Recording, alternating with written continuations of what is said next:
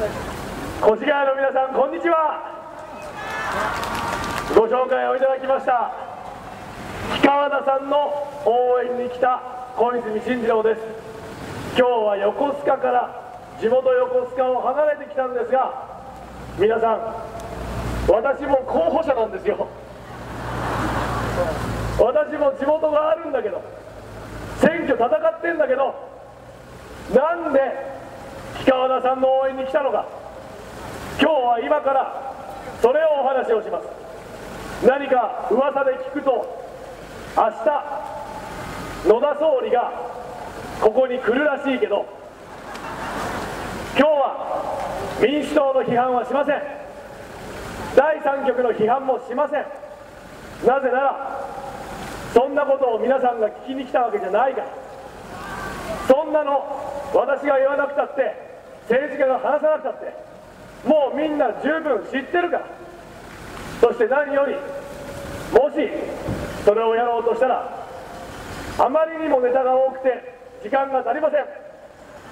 だから今日小泉進次郎がなぜ氷川田さんの応援に来たのかを話しますが理由は2つです。1つ目の理由は川田さんがリスクを冒してまでチャレンジ精神を持って自民党から立候補してくれたその気持ちを今自民党自身も必要としているそしてチャレンジをすること。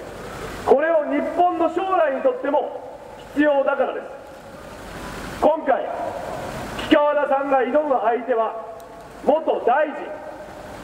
強大な敵です。大きな相手です。だけどその相手に立ち向かって自分の身を賭して自民党から立候補を決めて戦う決意を固めてくれた。それに応えなきゃいけない。何とかして今回勝って皆さんの越谷の皆さんの期待に応えなきゃいけない。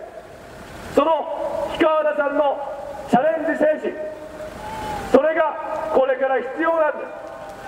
そして若い人今日足を止めていただいている今進次郎さんって言ってくれた高校生？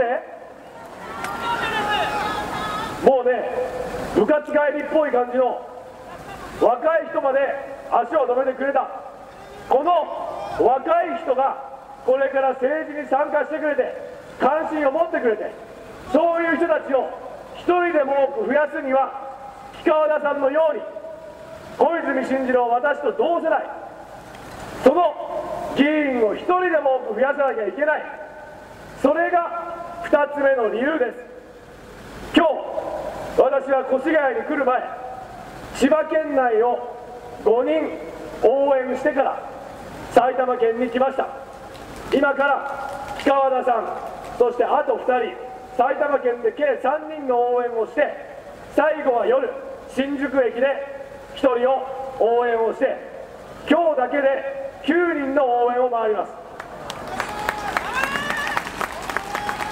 その中で全国を安倍総裁石破幹事長小泉進次郎3人で激戦区を手分けをして回っていますが安倍総裁の役割石破幹事長の役割小泉進次郎の役割。それぞれ役割があります。私の役割は何かというとよく客寄せパンダと言われますが何言われたっていいんです。私は私に与えられた役割を一生懸命果たします。今回の小泉進次郎の選挙での役割は全国で立候補している自民党から出ている20代30代40代この若い候補が日本全国で約80人。80人中の1人でも多くを当選させることで自民党を若返らせてもう一度皆さんの信頼を勝ち得ることですそれが今回氷川田さんの応援に来た2つ目の理由です。しかし若返っただけじゃダメなんです。若返った結果自民党が何をするのかです。昨日私は久々に地元に入ったけどおととい関西を回ってました。滋賀京都大阪兵庫。滋賀県から京都に行く在来線の電車に乗っていた時私のことを見つけた同世代の若い男性が私に握手を求めてきてこう言ったんです。小泉さん一生懸命働いてしっかり税金を納めるからどうかいい国にしてください。応援するから。そう言ってくれた。私は元気が出ましたよ。おそらく今日足を止めている皆さんも同じような思いだと思う。今消費税の話とかも出てるけど決して税金を払うのが嫌なんじゃない。皆さんが嫌なのはせっかく納めた税金が納得いかない形で使われるのが嫌なんです。そしてだから今の政治に怒り不信感を持ってる。だけどなんで皆さんそれだけ信頼がない政治家のしかも野党自民党の街頭演説会にこんなに足を止めてくれるんですか？それはどれだけ怒りどれだけ不信感があってもそれでも政治を諦めたくないからじゃないですか。それでもかすかな希望を日本の政治に持ちたいからじゃないですか。私たち木原さんと小泉進次郎は一緒になって新しい自民党若い自民党を作って皆さんの期待に応え政治の信頼を回復をしてこの日本が20年間失ってきた自信を取り戻します。そしてこのままいくと失われた20年どころか失われた30年になりかねない。そういったことは私たちで食い止める。そして皆さんが政治は捨てたもんじゃない。日本は大丈夫だという自信を取り戻すために一生懸命頑張ります。皆さんさっき言った安倍総裁の役割石破幹事長の役割小泉進次郎の役割そして木川田さんの役割。一人一人が役割が違うように皆さんもそれぞれの役割があるはずです。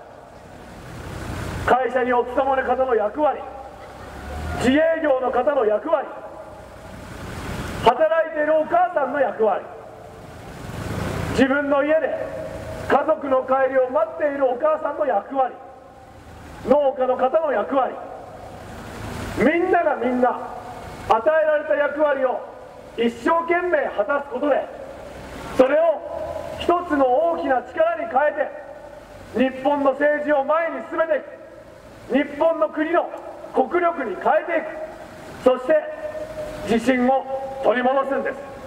私たちはできる。日本の政治は大丈夫。